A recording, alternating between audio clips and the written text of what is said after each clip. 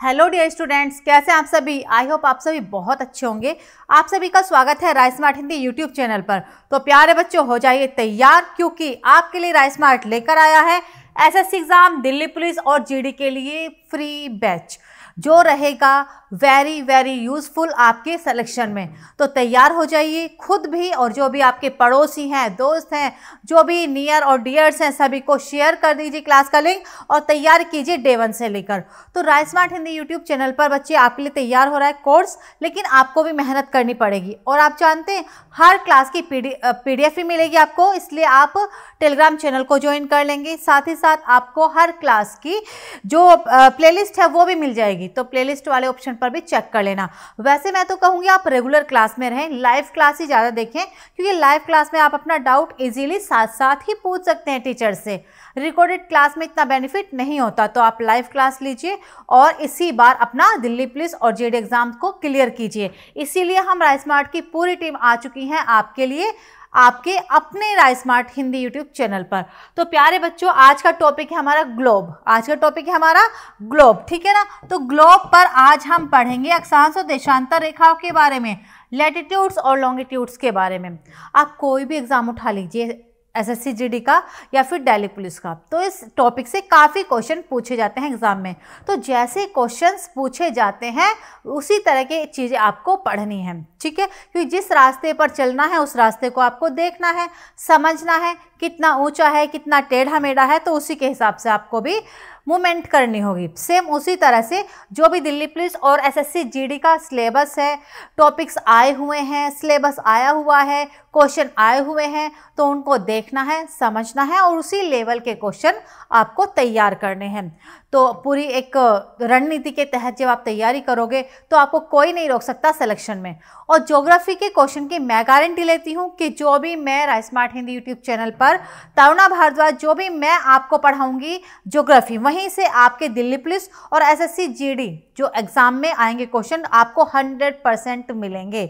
हाँ लैंग्वेज थोड़ी बदल सकती है ऑप्शन थोड़े बदल सकते हैं, लेकिन इसके बाहर कंटेंट आपको नहीं मिलेगा, ऐसा मेरा पूरा वादा है आपसे। और पूरी कोशिश है बच्चों कि आप सिलेक्शन इसी बार लें, लेकिन मेहनत आपको भी करनी पड़ेगी। हमारी पूरी टीम तो मेहनत कर ही रही है आपके लिए। तो चलिए, सबसे पहले आप सबके लिए दो लाइन जो अपने कदमों की काबिलियत पर विश्वास रखते हैं, जो अपने कदमों की काबिलियत पर विश्वास रखते हैं, वही अक्सर मंजिल को पार करते हैं। तो बच्चों, विश्वास करना खुद पर, अपनी मेहनत पर अपने की हुई मेहनत पर, अपने आप पर विश्वास करना बहुत ज़रूरी है, क्योंकि विश्वास वो शक्ति है जिससे आपकी 50 परसेंट तैयारी तो हो ही जाती है।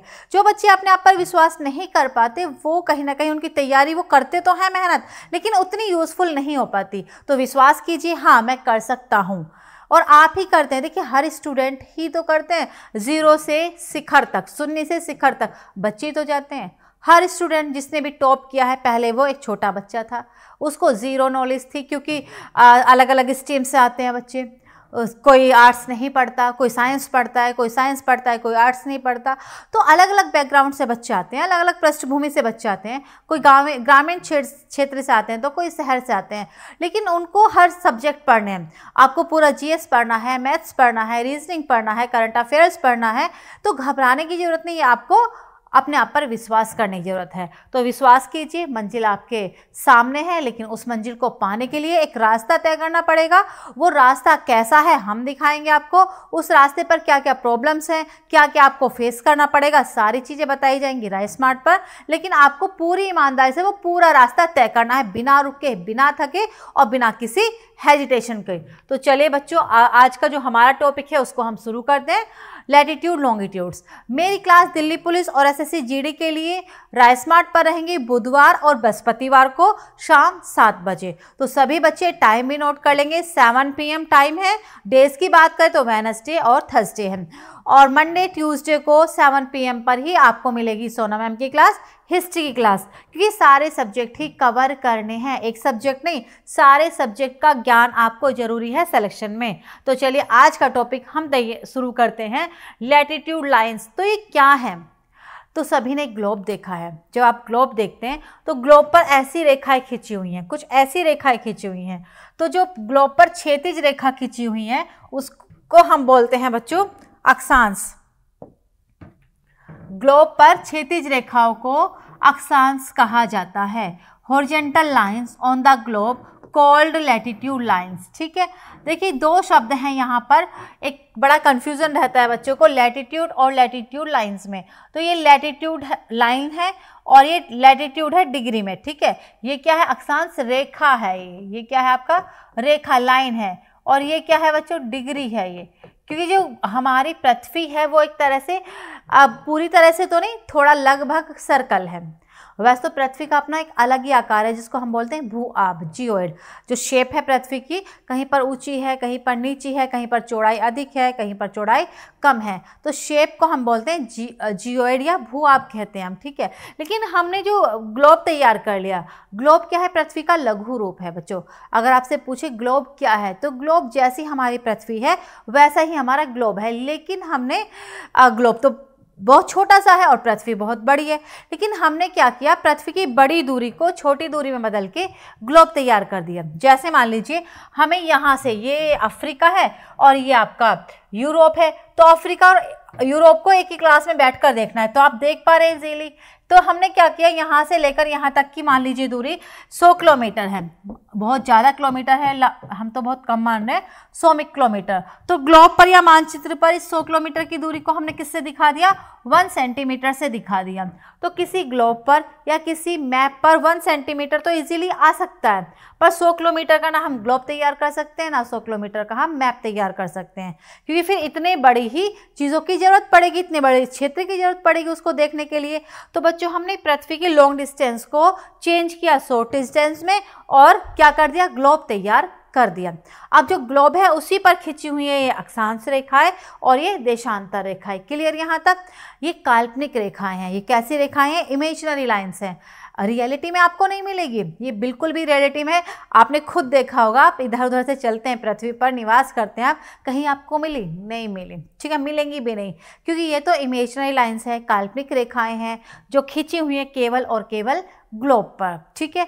अब हम इन्हीं अक्षांश और देशांतर रेखाओं से देखते हैं कि पृथ्वी पर कौन सा एरिया कहाँ पर है, कौन सा महाद्वीप कहाँ पर है, कौन सी झील किन अक्षांश, किन देशांतर रेखाओं के बीच में है, कौन सा देश किन लैटिट्यूड लाइन्स किन लॉन्गिट्यूड लाइन्स के बीच में है। तो हम ये समझते हैं और इसी के बेस पर हम डायरेक्शन का भी देखते हैं। इसी के बेस पर हम किसी भी स्थान का एड्रेस देते हैं। देखिए आप कहीं भी जाते हो तो आपको एड्रेस दिया जाता है।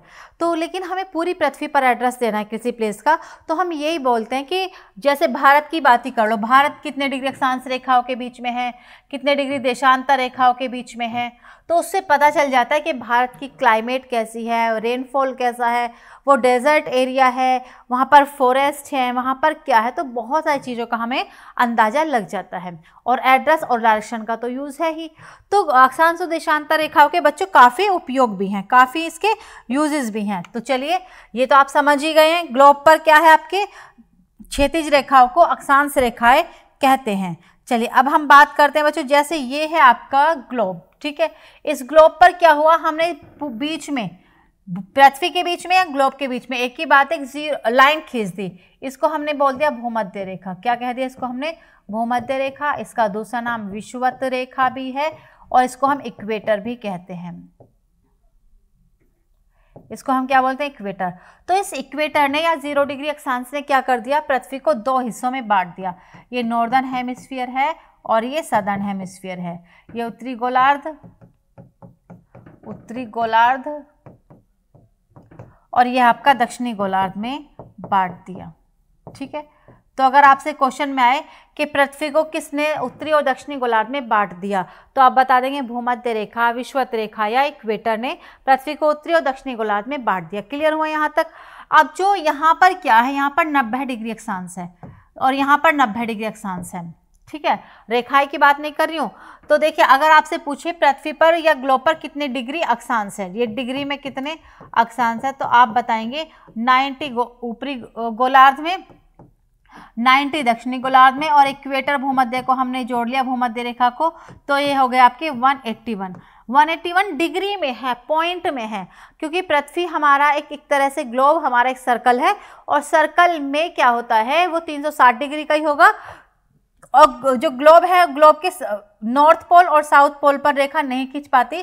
जैसे आप देखिए, अब आप खींचते जा रहे हैं लाइन खींचते जाइए खींचते जाइए तो लेकिन जो नब्बेवा आएगा तो वो क्या हो जाएगा? वो पॉइंट लगाना पड़ेगा, वो रेखा नहीं खींच पाएगी, वो उसको हम बिंदु काउंट करेंगे। अब हम बात करें, अगर आपसे क्वेश्चन में आ जाए बच्चों, पृथ्वी पर कितनी अक्षांश रेखाएँ हैं? नंबर ऑफ़ लैटिट्यूड्स कितने हैं? तो आप बताएँगे वन ये क्या है? रेखा है। लाइन है, ठीक है ना? ये क्या है? रेखा है, लाइन है। क्लियर यहाँ तक? रेखा है। रेखा। अब क्यों? क्योंकि देखिए 89 यहाँ पर है 89 यहाँ पर है और वन यहाँ पर इक्वेटर वाली। क्योंकि जो उत्तरी गोलार्ध है, इसमें 90 पर तो आप खींच ही नहीं पा रहे हो, बिंदु लगा पा रहे हो। दो पोल को हमने 181 में से माइनस कर दिया। तो 181 में से जब हम माइनस करेंगे दो बिंदुओं को तो 179 रेखाएँ हो जाएँगी। दोनों क्वेश्चन का आंसर अलग है, याद रखना। अगर आपसे एग्ज़ाम में क्वेश्चन आए, पृथ्वी पर कितनी अक्षांश रेखाएँ हैं तो आप बताएँगे 179 एक गोलार्ध में कितनी है? 89 ठीक है? और कितने डिग्री अक्षांश है? तो एक गोलार्ध में 90 डिग्री अक्षांश दूसरे गोलार्ध में 90 डिग्री अक्षांश, और ये आपका इक्वेटर है तो 181 डिग्री अक्षांश है। क्लियर हुआ? अब दूसरा क्वेश्चन बनता है, दो अक्षांश रेखाओं के बीच की दूरी कितनी होती है? तो आप याद रखेंगे, distance between two latitude lines is 111 kilometre. दो अक्षांश रेखाओं के जो बीच की दूरी है बच्चों, वो 111 किलोमीटर होती है। पढ़ते रहिए, समझते रहिए और जीवन में आगे बढ़ते रहिए। इसी साल करना है आपको दिल्ली पुलिस और जीड एग्ज़ाम क्लियर इसीलिए बने रहिए Rai smart Hindi YouTube channel के साथ, क्योंकि यहाँ पर आपको मिलता है हर सब्जेक्ट एक अलग अंदाज में। एक वैसे अंदाज में, जैसे अंदाज में आपके एग्ज़ाम में क्वेश्चन आते हैं। जिस लेवल के क्वेश्चन आते हैं, जिन टॉपिक से ज़्यादातर क्वेश्चन आते हैं, और जो क्वेश्चन बार बार रिपीट होते हैं, वही चीज़ें हम आपको क्लास में करवाते हैं। तो पूरी उम्मीद है और पूरा विश्वास भी है कि इसी बार आप राय स्मार्ट के साथ पढ़कर अपना दिल्ली पुलिस और एसएससी एस एग्ज़ाम क्लियर करेंगे। भूलना नहीं है सेवन पीएम पर वेनसडे और थर्सडे को जोग्राफी की क्लास मिलेंगी और मैं गारंटी लेती हूँ बच्चों, आप सभी से ज्योग्राफी के क्वेश्चन की, जो भी आपके एग्ज़ाम में आएँगे। तो चलिए, पढ़ते रहिए। यहाँ तक क्लियर हुआ। कमेंट बॉक्स में ज़रूर कमेंट करें। जो भी बच्चे क्लास में है रेगुलर रहें सेवन पीएम पर, बाकी सारी सब्जेक्ट सिलेबस है आपका टाइम आपको पता ही है। आपको नहीं पता है तो हमने जब दिल्ली पुलिस और जेड एग्ज़ाम के लिए लॉन्च किया था तो वो वाली वीडियो आप देख लीजिए। प्लेलिस्ट में इजीली आपको मिल जाएगी। तो बच्चों, यहाँ तक आपको चीज़ें समझ में आ गई। अब हम बात करेंगे कुछ अक्षांश रेखाओं के बारे में। ये हमारी पृथ्वी है और इसको हमने बोल दिया भूमध्य रेखा, इक्वेटर या विश्वत रेखा, ठीक है? साढ़े तेईस डिग्री उत्तरी अक्षांश को हमने बोल दिया कर्क रेखा ट्रॉपिक ऑफ़ कैंसर साढ़े तेईस डिग्री दक्षिणी अक्षांश को हमने बोल दिया मकर रेखा मकर रेखा ट्रॉपिक ऑफ़ कैंसर ये क्या है? Tropic of Capricorn Tropic of sorry Cancer. Tropic of Capricorn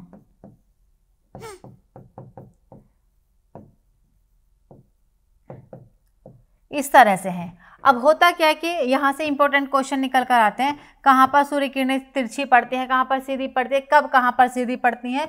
तो भूमध्य रेखा पर तो सूर्य किरणें वैसे तो हमेशा सीधी पड़ती हैं, लेकिन 21 मार्च और 23 सितंबर 21 मार्च और 23 सितंबर को सूर्य किरणें पूरी तरह से एकदम सीधी पड़ती हैं भूमध्य रेखा वाले क्षेत्र में।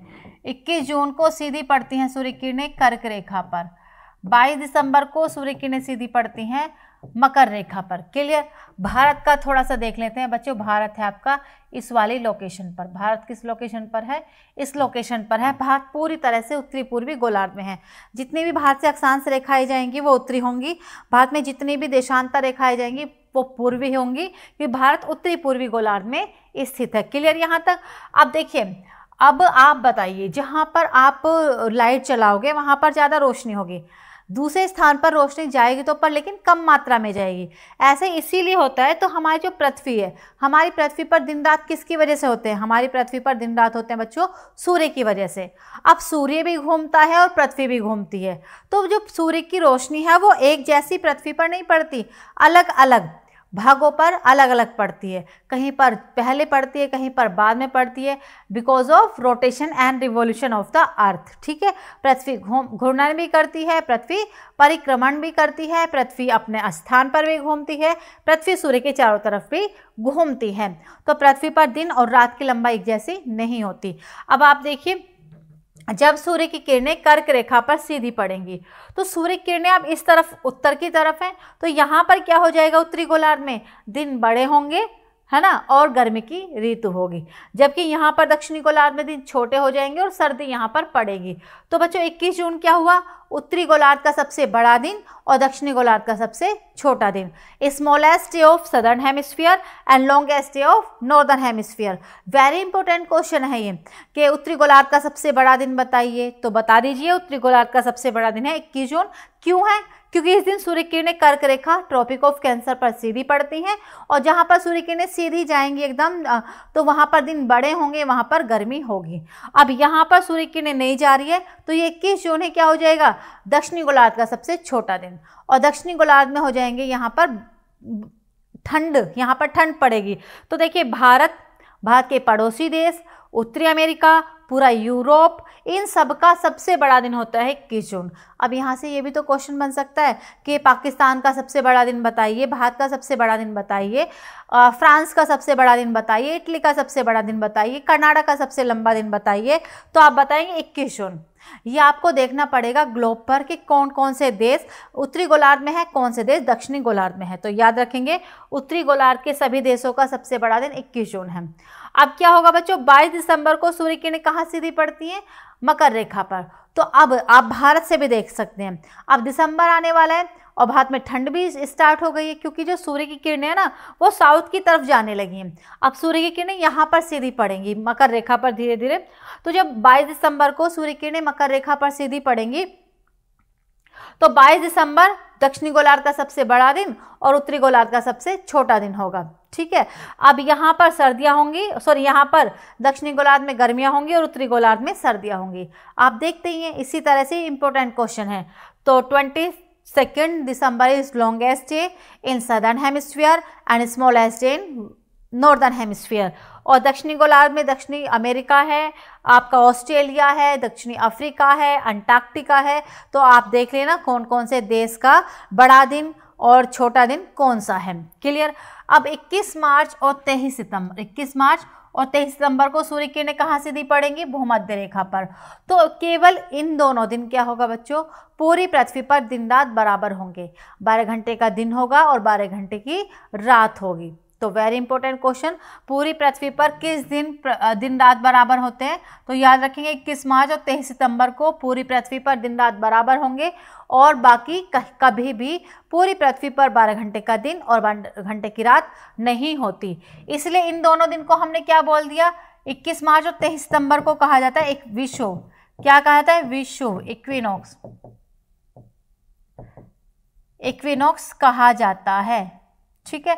तो date of equinox is twenty first March and twenty third September जो भी डाउट है क्लास में पूछिए, क्योंकि बाद में आप रिकॉर्डेड क्लास देखते हैं तो उतना अच्छा नहीं लगता है। आप लाइव क्लास में सारे डाउट पूछिए और अपने कमेंट बॉक्स में भी आंसर दीजिए। साथ ही साथ आप हमारा टेलीग्राम चैनल ज्वाइन कर सकते हैं। वहाँ भी आप अपने डाउट्स वगैरह पूछ सकते हैं। और हमसे बात करने के लिए आप eight two eight two eight two seven zero double nine इस नंबर पर भी कॉल कर सकते हैं। साथ ही साथ हर क्लास की पीडीएफ के लिए आपको ज्वाइन करना पड़ेगा हमारा टेलीग्राम चैनल और बच्चों, हर क्लास के नोटिफिकेशन के लिए आपको जो सब्सक्राइब करना पड़ेगा। हमारा यूट्यूब चैनल और इंस्टाग्राम फेसबुक पर भी आप हमें वेरी इंपॉर्टेंट इन्फॉर्मेशन के लिए शॉर्ट टिक्स के लिए, किसी फॉर्मूले के लिए यहाँ पर आप फॉलो कर सकते हैं। और लगातार पढ़ना है तभी आप दिल्ली पुलिस और जेड एग्ज़ाम को क्लियर कर पाएँगे। हमने जो भी पढ़ाया राय स्मार्ट पर, किसी भी एग्ज़ाम्स के लिए वहाँ से क्वेश्चन आए हुए हैं। ये हम आपसे बिल्कुल प्रैक्टिकली बात करें और आप देख भी सकते हैं। आप कोई भी एग्ज़ाम उठाइए 2022 और 23 का और हमारी प्लेलिस्ट बनी हुई है, हर सब्जेक्ट की, हर एग्ज़ाम की, वहाँ पर चेक कीजिए, काफ़ी क्वेश्चन आते हैं और बच्चे खुद आकर बताते हैं और हमें भी पता चलता है, हम भी देखते हैं, भाई, ये क्वेश्चन हमने अपनी पीपीटी अपनी क्लास में पढ़ाया है और सेम क्वेश्चन आया है। कई बार तो इवन लैंग्वेज सेम थी जो हमने पढ़ाया, वही क्वेश्चन आया। एक इरोजन वाला क्वेश्चन 2022 में, जैसा मैंने पढ़ाया, वैसे ही और वैसे ऑप्शन में आया। तो वही चीज़ें हम आपको पढ़ा रहे हैं जो एग्ज़ाम में आती है। और बच्चों, ये एक्सपीरियंस से होता है, मेहनत से होता है। हमारी पूरी टीम हम सब पूरी मेहनत करते हैं। जैसी कोई एग्ज़ाम आता है एनालाइज करते हैं, कैसे क्वेश्चन आ रहे हैं, किस लेवल के आ रहे हैं, किस लैंग्वेज में आ रहे हैं, किन ऑप्शन के साथ आ रहे हैं। और बच्चे कर पा रहे हैं, नहीं कर पाए तो सारा एनालाइज करके हम वही चीज़ें आपको पढ़ाते हैं, जो एग्ज़ाम में बार बार रिपीट होती है। तो विश्वास कीजिए और मेहनत कीजिए। तो आपको घड़ी मत देखो। दो लाइन आपके लिए, घड़ी को मत देखो, बल्कि वो करो जो घड़ी करती है, बस चलती रहती है। तो बार बार घड़ी नहीं देखनी हम कितने घंटे पढ़े, कितने घंटे हमने कौन सा सब्जेक्ट पढ़ लिया, ये नहीं करना आपको। सिर्फ़ आपको घड़ी की तरह लगातार चलना है चलना है चलना है।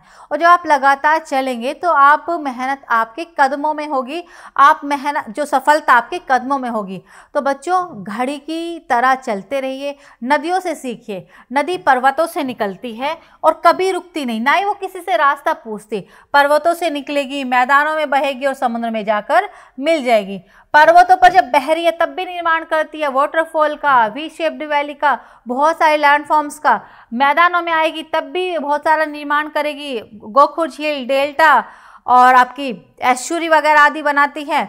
और समुद्र में जब गिरेगी तटों पर वो भी डेल्टा और एशुरी वगैरह बनाती है और यहाँ पर मियांडर और बहुत कुछ चीज़ें बनाती है। लगातार काम करती रहती है और जितना काम करती है, उसका जल उतना ही शुद्ध, उतना ही प्योर होता है और बाद में जाकर वो समुद्र में मिल जाती है। कभी रुकती नहीं। अगर नदी एक स्थान पर रुक जाए तो आप बताइए कि आपकी, के लिए नहरें निकाली जा सकती हैं? क्या आपको जल प्राप्त हो सकता है? तो दूसरों के लिए जिए, लगातार जिए और मेहनत करते रहें, मेहनत करने से कभी ना डरें। जिस दिन आप मेहनत करना आपने, काम करना आपने छोड़ दिया तो आपकी लाइफ में जंग लग जाएगा। आपको नदियों की तरह, पवन की तरह, सूर्य की तरह हर रोज़ निकलना है, हर रोज़ चमकना है, यही हमारे जीवन का हिस्सा है। तो चलिए, घड़ी की तरह चलते रहना है, टिक टिक टिक टिक, थोड़ी थोड़ी मेहनत करते रहनी है और सिलेक्शन लेना है इसी बार राय स्मार्ट के साथ। तो अब हम पढ़ेंगे बच्चों लॉन्गिट्यूड के बारे में, देशांतर रेखाओं के बारे में। तो जैसे कि आप ग्लोब पर देख ही रहे हैं क्षेत्रीज रेखाओं को हमने क्या कहा था? क्षेत्रीज रेखाओं को हमने कहा था, अक्षांश रेखाएँ और लॉन्गिट्यूड लाइंस कौन सी आपकी? वर्टिकल लाइंस उर्दुआधर रेखा, सीधी रेखा, खड़ी रेखा या वर्टिकल लाइंस को हम कहते हैं बच्चों, आपका लॉन्गिट्यूड लाइंस क्लियर हुआ। अब देखिए, इनकी संख्या कितनी, इनकी संख्या में कोई भी प्रॉब्लम नहीं है। इनकी संख्या आपका 360 कितनी है? 360 अब हुआ क्या? हमने पूरी पृथ्वी के बीच में एक लाइन खींच दी। पूरी पृथ्वी के बीच में हमने लाइन खींच दी। इसको हम बोलते हैं प्राइम मेरिडियन इसका नाम क्या है? प्राइम मेरिडियन प्राथमिक यमनोत्तर प्राथमिक यमनोत्तर जैसे आप देखिए ज़ीरो डिग्री अक्षांश को हमने क्या बोल दिया? ज़ीरो डिग्री अक्षांश को हमने बोल दिया था। बताइए भाई आप भी ज़ीरो डिग्री अक्षांश को हमने भूमध्य रेखा या विश्वत रेखा कह दिया। इसी तरह से ज़ीरो डिग्री अक्षांश का सॉरी देशांतर का नाम है प्राइम मेरिडियन प्राथमिक यमुनोत्तर इसने क्या कर दिया? पृथ्वी को दो भागों में बांट दिया, ईस्टर्न हेमिस्फीयर और वेस्टर्न हेमिस्फीयर। किसमें बांट दिया? पूर्वी गोलार्ध और पश्चिमी गोलार्ध में बांट दिया। मतलब आप देखिए, ज़ीरो डिग्री अक्षांश ने पृथ्वी को नॉर्थ और साउथ में बांट दिया, लॉन्गिट्यूड ने ईस्ट और वेस्ट में बांट दिया। तो हमें ये समझ में आ रहा है कि अक्षांश और देशांतर रेखाओं के आधार पर हम दिशाओं का भी निर्धारण करते हैं। और आपके लिए एक इम्पोर्टेंट क्वेश्चन भी है कि पृथ्वी पर दिशाओं का निर्धारण किसके आधार पर किया गया है? तो वेरी सिंपल आप याद रखेंगे। अक्षांश और देशांतर रेखाओं के आधार पर ही पृथ्वी पर दिशाओं का निर्धारण किया गया है। और दूसरा, एक तो दिशाओं के लिए हम इसका यूज़ कर रहे हैं। तीसरा दूसरा, हम उसका लोकेशन डायरेक्शन के लिए यूज़ कर रहे हैं। कौन सी किस दिशा में कौन सा स्थान है, उसकी किसी भी स्थान की स्थिति बता रहे हैं एड्रेस दे रहे हैं। तो आप देखिए, अक्षांश, देशांतर रेखाओं का भी काफ़ी उपयोग है ग्लोब पर या हमारी पृथ्वी पर। क्लियर यहाँ तक? चलिए आप ईस्ट और वेस्ट में बटे हुए हैं और 180 ये इधर है। 180 देशांतर इधर है 180 देशांतर इधर है। दो देशांतर रेखाओं के जो बीच की दूरी है, जैसे दो देशांतर है, इनके बीच की दूरी है 111.3 थ्री टू किलोमीटर। दो अक्षांश रेखाओं के बीच की दूरी थी 111 किलोमीटर, लेकिन दो देशांतर रेखाओं के बीच की दूरी है 111.32 किलोमीटर। और जो ये दूरी है बच्चों, इसको हम बोलते हैं गोरे। क्या बोलते हैं इसको हम? गोरे। इंपॉर्टेंट क्वेश्चन है। नेक्स्ट एक क्वेश्चन आया था एग्ज़ाम में। आइए समझते हैं क्या। तो क्वेश्चन मैं आपसे पूछती हूँ। क्वेश्चन ये है इंपॉर्टेंट देखिए ये भूमध्य रेखा है और ये पृथ्वी के, ये क्या है? नॉर्थ पोल और ये साउथ पोल ये उत्तरी ध्रुव है और नीचे आपका दक्षिणी ध्रुव। तो जब आप भूमध्य रेखा से ध्रुवों की तरफ़ जाओगे तो देशांतर रेखाओं के बीच की दूरी बढ़ती है, घटती है, स्थिर रहती है। ये एग्ज़ाम में क्वेश्चन आया था। तो आप को इसीलिए देखने से याद हो रहा है। तो देशांतर रेखाओं से जब आप भूमध्य रेखा सॉरी देशांतर रेखा जब आप भूमध्य रेखा से ध्रुवों की तरफ़ जाओगे तो देशांतर रेखाओं के बीच की दूरी घटती जाती है। अक्षांश रेखाएँ सीधी खिंचती हैं, लेकिन देशांतर रेखाओं को हम मोड़ देते हैं, क्योंकि हमारी जो पृथ्वी है, पृथ्वी की चौड़ाई भूमध्य रेखा पर अधिक है और ध्रुवों पर कम है। हमें यहाँ पर भी 180 लाइन खींचनी है और यहाँ पर भी 180 लाइन खींचनी है। चौड़ाई कम है तो हम पास पास लाइन रख देंगे, चौड़ाई ज़्यादा है तो हम दूर दूर लाइन रख देंगे। तो याद रखना, इक्वेटर से पोल की तरफ़ जाने पर, डिस्टेंस डिक्रीज होती है लॉन्गिट्यूड्स के बीच की। ठीक है? क्यों होती है? ये भी आपको बता दिया है। इंपॉर्टेंट क्वेश्चन है, सभी आए हुए हैं। समझ में आ रहा है? नहीं आ रहा है तो जल्दी से कमेंट करके आप बताएँगे। लाइक शेयर सब्सक्राइब आपने कर ही दिया होगा, क्योंकि बच्चों, यही आपकी गुरुदक्षिणा है। आप हर रोज़ पढ़ते हैं, आगे बढ़ते हैं। गुरुओं के आशीर्वाद से ही आप आगे बढ़ते हैं। बिना गुरु के और बिना आपके पेरेंट्स के माता पिता के। आपका जीवन अधूरा है। इस दुनिया में अगर कोई भी आपका भला चाहता है, आपको सफल देखना चाहता है तो वो आपके माता पिता हैं और वो आपके गुरु हैं, शिक्षक हैं टीचर्स हैं। बाकी पूरी दुनिया में कोई दोस्त है, कोई रिलेटिव है, कोई भी है, बच्चों, आपका भला नहीं चाहता। हाँ वो बोल देगा कि, भाई, आप आगे बढ़ो, खुश रहो। और पर कोई भी ये नहीं चाहता कि हम से आगे कोई भी बढ़े। लेकिन माता पिता और टीचर्स हमेशा चाहते हैं कि हमारे बच्चे हमसे भी कुछ अच्छा करें, जीवन में आगे बढ़ें, हमारा नाम रोशन करें, ठीक है? तो अपने माता पिता की बात सभी ध्यान से सुनेंगे और हमारे राय स्मार्ट के जितने भी टीचर्स हैं, सभी की बात आप ध्यान से सुना करो। सभी आपके लिए मेहनत करते हैं और जिस दिन आपका सिलेक्शन होगा बच्चों, उस दिन आपको तो खुशी होगी नो डाउट लेकिन आपसे ज़्यादा खुशी हमें भी होगी, आपके पेरेंट्स को भी होगी। और खुशियाँ देना खुशियाँ बांटना जीवन का उद्देश्य होना चाहिए। दुख तो बहुत लोग देते हैं दुनिया में लेकिन आप अपने माता पिता की खुशियों का ध्यान रखो अपनी खुशियों का ध्यान रखो और हमारी खुशियों का भी ध्यान रखो। सिलेक्शन के बाद राय स्मार्ट पर आकर आपको बताना है क्या आपने पढ़ा क्या आपने नहीं पढ़ा ठीक है? क्या क्या प्रॉब्लम्स हुई कैसे आपने सेलेक्ट हुए? चलिए तो अपनी खुशियों में भी हमें भी शामिल ज़रूर कीजिएगा और मुझे पूरी उम्मीद है कोई कोई डाउट ही नहीं है कि आ, हमारा पढ़ाए हुए से आपको क्वेश्चन नहीं आएँगे। हंड्रेड परसेंट क्वेश्चन आएँगे हमारे पढ़ाए हुए से। मैं आपसे वादा करती हूँ, लेकिन टाइम देना पड़ेगा। सिर्फ़ ऐसे नहीं, हमारे पढ़ाने से। हम पढ़ाएँगे वही चीज़, लेकिन आपको पढ़ना पड़ेगा। आपको मेहनत करनी पड़ेगी और आप कर सकते हैं। आपके पास पूरा स्मार्ट की टीम है, यूट्यूब चैनल है, फेसबुक है, आपके पास इंटरनेट है। आप घर बैठ के अपना टाइम यूटिलाइज कर सकते हैं। किसी भी तरह की प्रॉब्लम नहीं है। प्रॉब्लम पहले होती थी। पढ़ने के साधन पहले नहीं थे। अब तो घर घर पढ़ने के साधन पहुँच गए हैं, निःशुल्क पहुँच गए हैं। तो भाई बेनिफिट लीजिए टाइम स्पेंड कीजिए अपने राय स्मार्ट चैनल के साथ और जीवन में आगे बढ़िए। क्लियर हुआ यहाँ तक? अब हम बात करेंगे बच्चों, मानक समय की स्टैंडर्ड टाइम की। तो पहले यहाँ कर लेते हैं, हम भारत किन अक्षांश रेखाओं के बीच में है और किन देशांतर रेखाओं के बीच में है।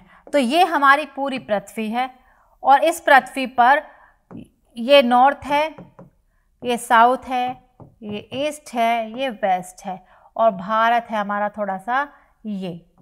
तो भारत कहाँ पर है? भारत पूरी तरह से उत्तरी गोलार्ध में है और भारत पूरी तरह से पूर्वी गोलार्ध में, उत्तरी पूर्वी गोलार्ध में फैला हुआ है हमारा प्यारा भारत। ठीक है? अब क्वेश्चन में आता है, भारत किन अक्षांश रेखाओं के बीच में है? किन देशांतर रेखाओं के बीच में है? तो ये ज़ीरो है बच्चों, और ये भी ज़ीरो है। तो भारत आठ डिग्री चार मिनट उत्तरी अक्षांश से लेकर नॉर्थ लैटिट्यूड से लेकर सैंतीस डिग्री छः मिनट उत्तरी गोल अक्षांशों के बीच में है। ये देशांतर कौन सा है और ये देशांतर कौन सा है? मतलब भारत किन देशांतर रेखाओं के बीच में है?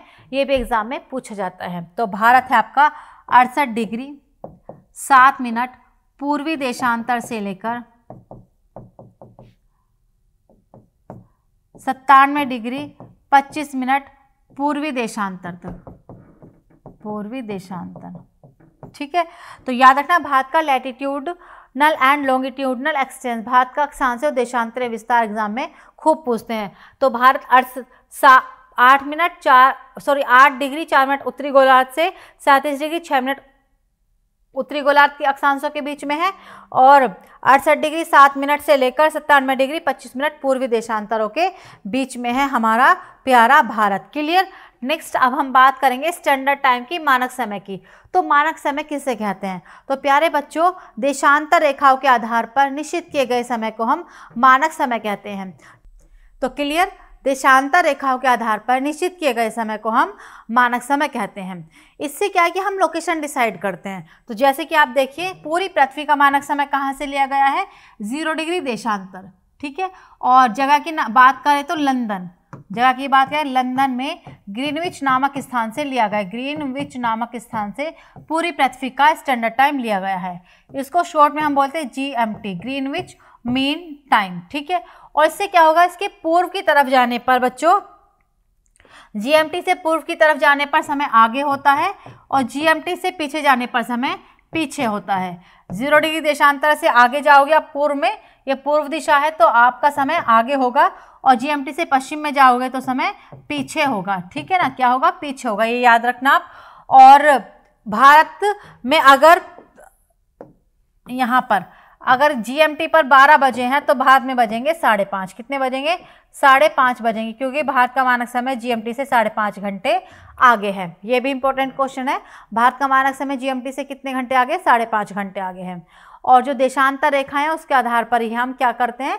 स्टैंडर्ड टाइम लगाते हैं। चलिए, अब हम बात करेंगे, देखिए, जैसे भारत है तो भारत के मानक समय की बात करें तो भारत का मानक समय साढ़े बयासी डिग्री पूर्वी देशांतर से लिया गया है। क्यों लिया गया है? क्योंकि ये वाला देशांतर भारत के मध्य से गुजरता है, ठीक है? तो साढ़े बयासी डिग्री पूर्वी देशांतर से हमें पता चला ये भारत के मध्य से गुजरता है। स्थान की बात करें तो प्रयागराज, कहाँ पर? प्रयागराज के नैनी नामक स्थान से लिया गया है, ठीक है? और साढ़े बयासी डिग्री पूर्वी देशांतर है। भारत में सबसे पहले अरुणाचल में सूर्योदय होता है और सबसे बाद में गुजरात में। तो अरुणाचल और गुजरात के समय में दो घंटे का अंतर है। कितने घंटे का? दो घंटे का अंतर है। क्लियर यहाँ तक? इसीलिए भारत में भी दूसरे स्टैंडर्ड टाइम की डिमांड की जा रही है। तो ये थे आपके टॉपिक और हम बात करेंगे टॉपिक से बनने वाले क्वेश्चंस की। किस तरह के क्वेश्चन आपके एग्ज़ाम में आते हैं? या आए हुए हैं। चलिए तो क्वेश्चन है, बच्चों, भूमध्य रेखा से ध्रुवों तक सभी समांतर व्रतों को किस रूप में जाना जाता है? तो वेरी सिंपल भूमध्य रेखा से सभी समांतर रेखाओं को ध्रुवों तक जो खिंची हुई है, उसको हम अक्षांश रेखाएँ कहते हैं। पैरल ऑफ़ लैटिट्यूड क्या बोलेंगे? अक्षांश रेखाएँ लैटिट्यूड लाइंस कहा जाता है। सभी देशांतर रेखा, अक्षांश रेखाएँ भूमध्य रेखा से ध्रुवों की तरफ़ जाती हैं। नेक्स्ट क्वेश्चन साढ़े छियासठ डिग्री उत्तरी अक्षांश क्या दर्शाता है?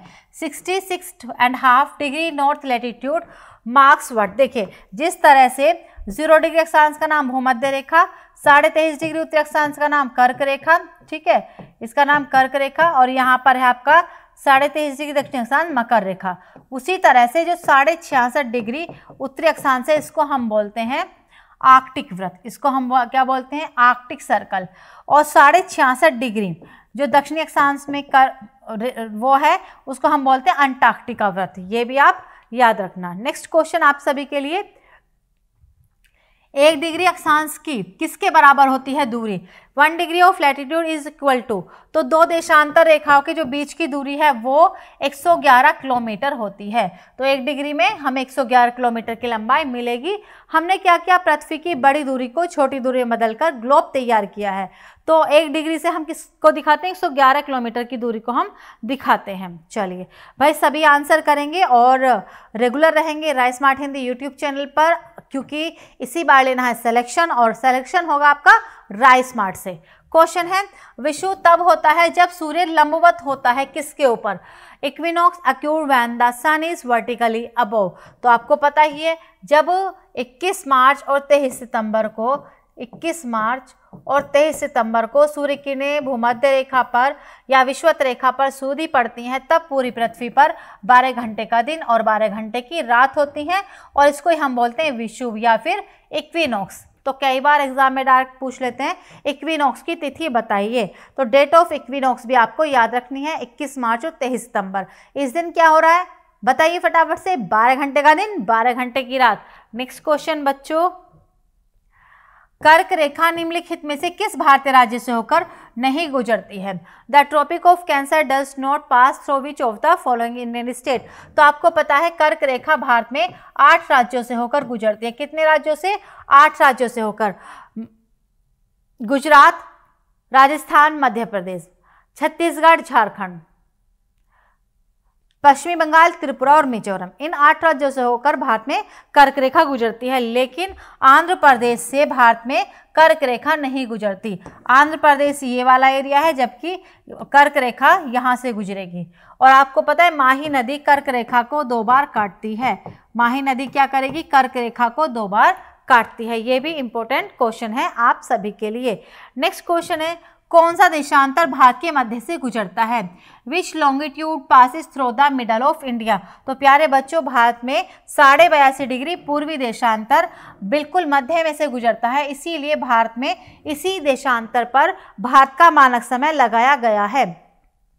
भारत का स्टैंडर्ड टाइम यहीं से लगा हुआ है। याद रखना क्योंकि ये पूरे विश्व में सॉरी भारत के बीच में से गुजरता है। जो भी देशांतर जिस भी देश के बीच में से गुजरता है, उसी पर लगाया जाता है आपका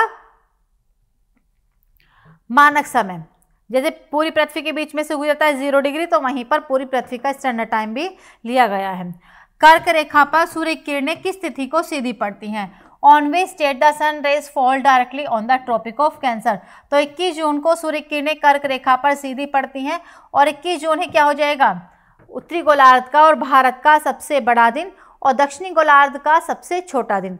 उत्तरी गोलार्ध में होती हैं गर्मियाँ इस समय और दक्षिणी गोलार्ध में होती हैं सर्दियाँ इस समय। नेक्स्ट है, उत्तरी गोलार्ध में अक्षांश रेखाओं की संख्या कितनी है? How many latitude lines are there in the northern hemisphere उत्तरी गोलार्ध में अक्षांश रेखाओं की संख्या है। ये थोड़ा सा टाइपिंग गलत है। उत्तरी गोलार्ध छोड़ दीजिए केवल आप कि अक्षांश रेखाओं की संख्या। तो अक्षांश रेखाओं की संख्या है 179 how many latitude line are there in the बस नॉर्दर्न हेमिस्फीयर आप हटा दीजिए क्योंकि ऑप्शन में थोड़ा सा टाइपिंग मिस्टेक है। तो 179 है अक्षांश रेखाओं की संख्या। एक गोलार्ध में अगर बात करें तो एक गोलार्ध में 89 है और दक्षिणी गोलार्ध में भी और उत्तरी गोलार्ध में भी। और टोटल है 179 अक्षांश रेखाएँ।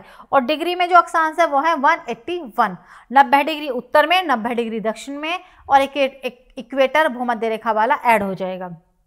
क्वेश्चन है पूरे विश्व का मानक समय किस देश से लिया गया है? Which from which country is the standard time of the whole world taken तो लंदन लंदन में स्थान कौन सा आपका? ग्रीनविच लंदन के ग्रीनविच नामक स्थान से लिया गया है। ग्रीनविच लेकिन लोकेशन किसके बेस पर डिसाइड की हमने? ज़ीरो डिग्री देशांतर पर। ज़ीरो डिग्री देशांतर से हमें ये पता चला कि ये वाला स्थान पूरी पृथ्वी के बीच में है।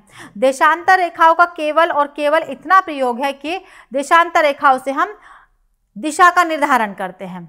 और स्थान का निर्धारण करते हैं। देखते हैं कि कौन सा स्थान किस देश के या पूरे विश्व के बीच में है। बाकी इसका कुछ नहीं है देशांतर रेखा, क्योंकि देशांतर रेखा तो बच्चों काल्पनिक रेखाएँ हैं। पर हाँ याद रखना, मानक समय की डेफिनेशन यही है कि देशांतर रेखाओं के आधार पर निश्चित किए गए समय को हम मानक समय कहते हैं।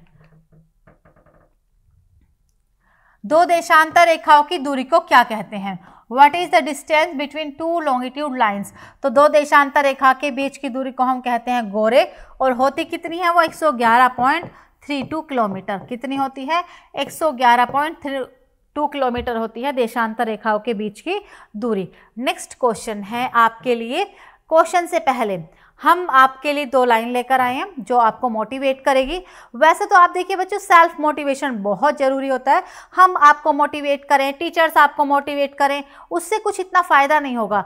आप खुद सेल्फ मोटिवेट होइए। आपके अंदर से चीज़ें आनी चाहिए कि हम क्यों पढ़ें, क्यों सिलेक्शन लें जल्दी से।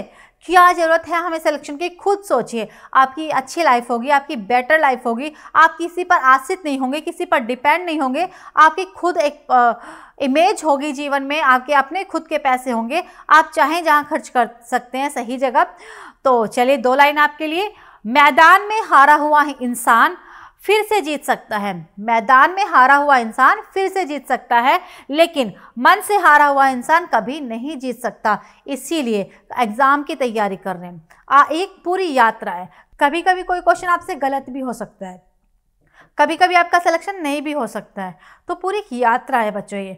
तो आपको डरना नहीं है डीमोटिवेट नहीं होना है कि हम तो नहीं कर पाए, ऐसा कुछ नहीं है। जब आपकी हंड्रेड परसेंट तैयारी हो जाएगी, आप पूरी तरह से तैयार हो जाएँगे, आपका सलेक्शन होगा। लेकिन टाइम देना पड़ेगा और बहुत पूरा जीवन नहीं, सिर्फ़ आप छः महीने पढ़ने में पूरी ईमानदारी से पढ़िए, पूरे सिलेबस को। फिर दो तीन महीने आप रिवीजन करिए। गारंटी हम लेते हैं, लेकिन अगर पढ़ना है, जो आप पढ़ हैं वो समझना है, उसका रिवीजन करना है, उसकी प्रैक्टिस करनी है। तो आप मन से हारने की कोई ज़रूरत नहीं है। एग्ज़ाम है क्लियर हो जाएगा। लेकिन खुश रहिए और एग्ज़ाम के लिए क्लियर करने के लिए आपको पढ़ना तो है ही, खुश भी रहना है हेल्थ का ध्यान भी रखना है और रेगुलर पढ़ना है। पढ़ने का मतलब ये नहीं कि सिर्फ़ पढ़ना है, लेकिन रेगुलर पढ़ना है। तो प्यारे बच्चों, Rai smart Hindi YouTube channel पर आपके लिए पता ही है, आ चुका है पूरा बैच, जो होगा फ्री ऑफ़ कॉस्ट जिसमें पढ़ाएँगे राय स्मार्ट की पूरी टीम सबको अपने अपने फ़ील्ड में, अपने अपने सब्जेक्ट में पूरा एक्सपीरियंस है। तो पूरी टीम आपके लिए मेहनत पर जुटी हुई है तो आप भी जुट जाइए। रेगुलर रहना है सुबह आठ बजे के लिए सर की क्लास से रात के ग्यारह बजे तक, ठीक है? और जितनी भी क्लासें होती हैं, सबको पढ़िए।